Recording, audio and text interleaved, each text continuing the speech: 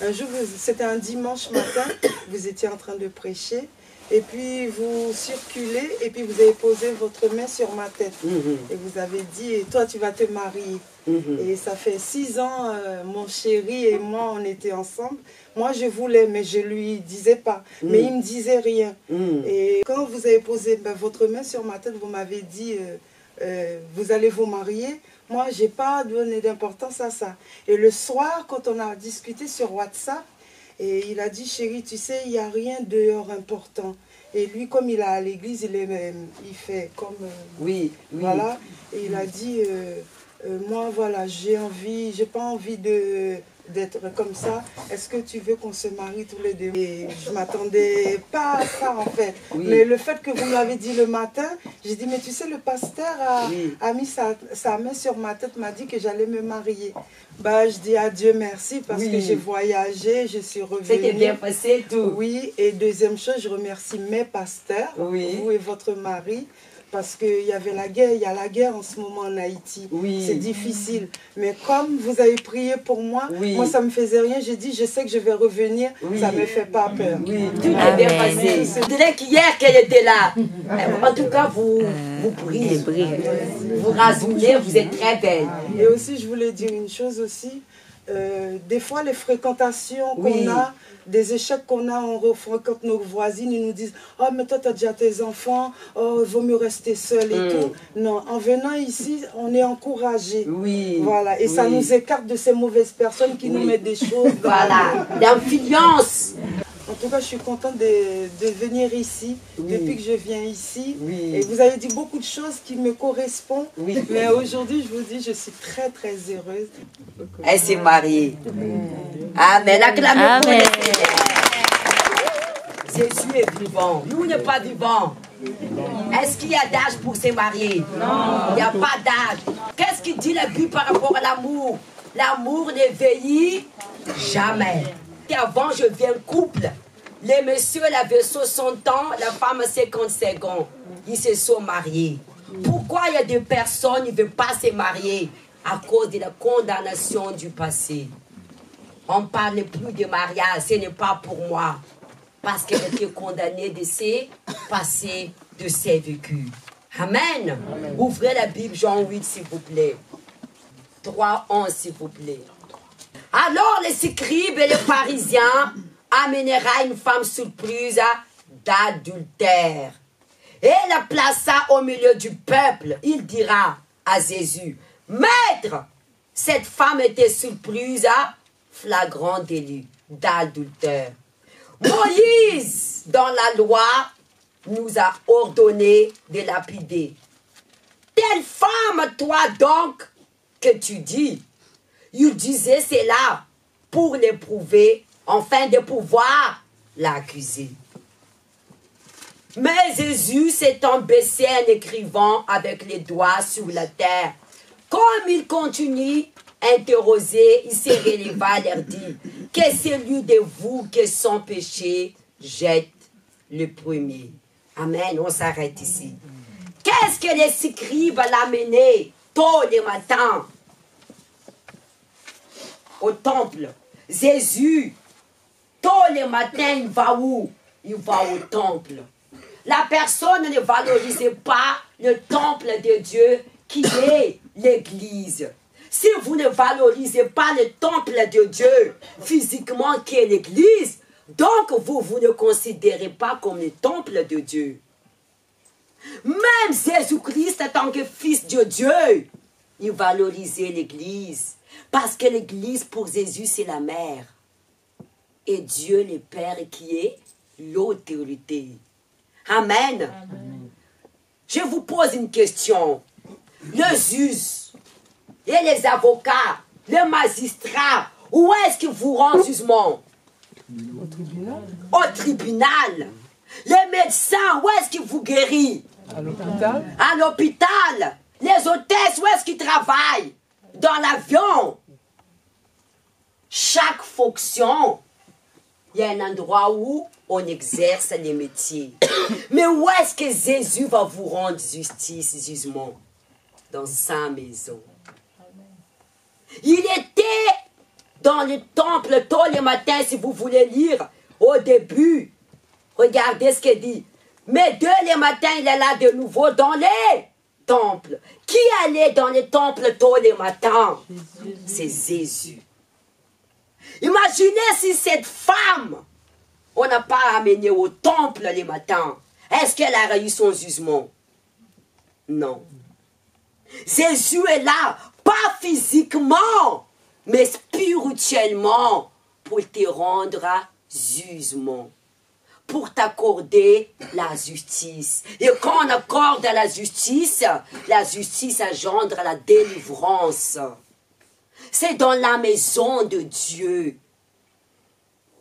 Dieu, il est juge des juges. C'est dans sa maison qu'il rend justice à, à son peuple. Là, c'est la place de Dieu. Pourquoi il y a les pupitres? Dans chaque église, normalement, il doit voir les pupitres. Où est-ce qu'on trouve les pupitres comme ça? Au tribunal. Et pourquoi il y a des fauteuils? Le trône de Dieu. Ça présente les jugements. Dieu n'est pas là physiquement, mais il est là en esprit. Il y a une séparation entre le peuple de Dieu. Dieu est ici. C'est de là qu'il envoie son secours. Ici, c'est le peuple. Amen. C'est de là Dieu, il va rendre jugement à son peuple. On a amené cette femme tôt le matin. Jésus était là. Qui l'a amené cette femme? Le scribe, les religieuses, a condamné cette femme à la mort parce qu'on a surpris d'adultère. Vous savez, l'homme vous condamne à travers les péchés. Et cet homme qui vous condamne, c'est vous-même. C'est vous que vous condamnez vous-même. Pourquoi vous vous condamnez vous-même? Les passés, ils vous condamnent. Le mariage n'est plus pour moi. Madame Sabine ne croyait plus qu'elle va se marier. Parce que les passés la condamnent l'a condamné. Jésus ne vous condamne pas. Aucun homme peut vous condamner. Si ce n'est que vous et le diable. C'est vous qui limite le pouvoir de Dieu qui agit dans votre vie. Tout est possible à celui qui croit. Il n'a pas dit que je suis le Dieu de l'alpha et l'oméga. Ça, ce que ça veut dire pour vous. Le début, le commencement, la fin. Amen. Peut-être pour toi, c'est la fin de ta vie sentimentale, c'est l'échec. Mais pour Jésus, ce n'est qu'un début de bonheur. C'est vous qui limitez la main de Dieu dans votre vie. Il n'y a personne qui peut vous empêcher d'être heureux. C'est qui? C'est vous-même. Non, c'est Satan. Satan, Jésus a déjà condamné sur la croix. Le scribe, la religion, a amené cette femme condamnée. Qui nous use parfois L'homme. L'homme est là pour t'user, te condamner. Mais le premier homme qui te condamne, c'est toi. C'est toi-même. Amen. Mais qu'est-ce que le diable veut dans notre vie? Il veut exposer notre vie. Il veut nous y humilier, Satan. On a exposé la vie de cette femme. Les péchés nous exposent nos vies. On se sent nu. C'est une humiliation. Mais Jésus permet que cette femme traverse l'humiliation pour la relever si elle reconnaît. On continue à lire. Amen. Qu'est-ce qui était dit? Leur conscience l'a accusé. Où est-ce que Jésus? Les touché Dans leur conscience. Et où est-ce que vous êtes condamnés? C'est dans vos consciences. Les diables nous poussent de pécher pour condamner. La conscience nous accuse. Et quand la conscience nous touche, est-ce qu'on a la vie?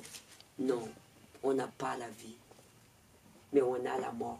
Pas physiquement, mais spirituellement.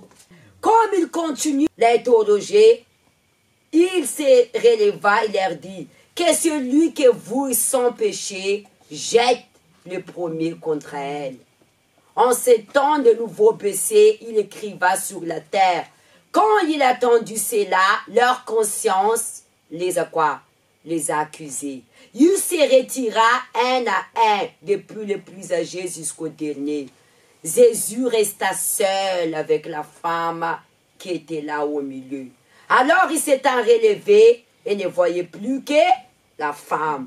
Jésus lui dit, Femme, où sont ceux qui t'accusaient Personne n'a-t-il condamné? Elle répondit, Non, Seigneur. Et Jésus lui dit, Je ne te condamne pas non plus. Va et ne pêche plus. Personne n'a-t-il condamné Qui peut vous condamner? Personne. C'est vous-même. Va et ne pêche plus. Parce que la condamnation vient du péché. Les péchés que Jésus parle ici, c'est les péchés spirituels, pas les physiques. Peut-être physique que vous avez abandonné, mais vous êtes là, mais le passé est toujours présent. Vous avez quitté l'Égypte de souffrance que le diable nous a rendus esclaves. Mais spirituellement, l'Égypte est toujours là. La condamnation. Dieu dit de couper. Et tu ne coupes pas les racines du passé. Les racines du passé nous donnent la vie ou la mort. La mort spirituellement. Et quand tu as les racines du passé là, est-ce que tu peux avancer? Tu ne peux pas. Et le passé, il contamine la foi. Tu n'as plus d'assurance. Les doutes rentrent. Tu deviens méfiance. Tu commences à écouter les ragots des autres. Tu n'es plus un abri. Jésus dit que la foi, c'est un bouclier. C'est un bouclier. La foi, c'est la protection. Et si ta foi te touche, tu n'as plus de protection dans ta vie. Le diable rentre, il fait ce qu'il veut. Et quel est son but?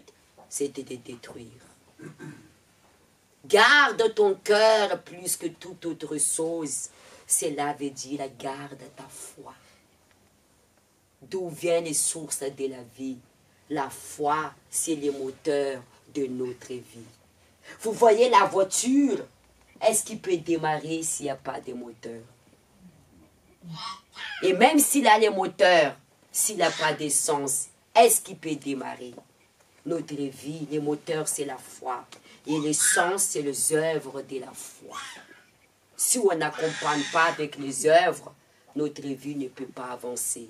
Dans Jacques, il dit, montre-moi ta foi, je te montrerai mes œuvres. Ta foi est touchée, c'est pourquoi tu n'arrives plus, c'est décider. décider. Quand quelqu'un a la foi, elle se confie à Dieu. Elle prend une décision. Tu n'arrives pas parce que tu as perdu la foi.